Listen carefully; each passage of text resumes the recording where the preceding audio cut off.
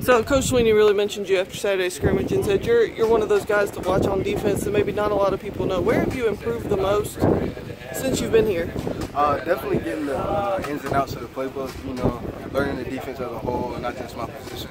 I think that's helped me the most.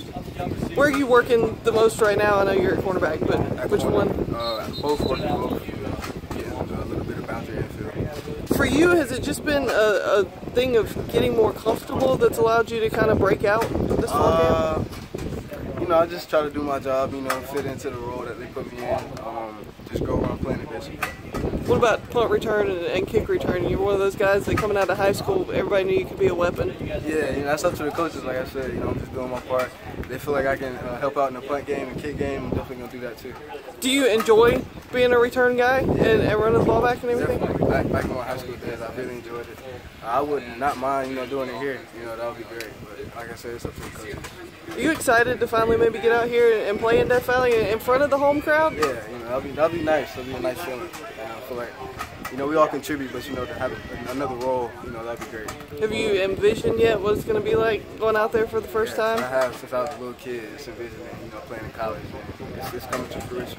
What, what are you looking forward to the most on, on game day? Looking forward to the most on game day. Uh, third downs, definitely third downs.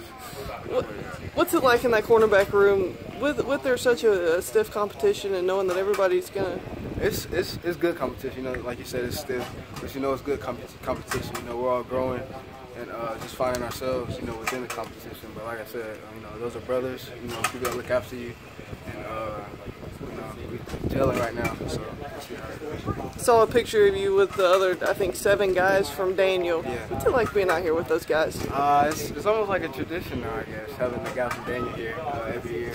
But uh, it it feels pretty good. Uh, something to be a part of something bigger than me, I guess you could say.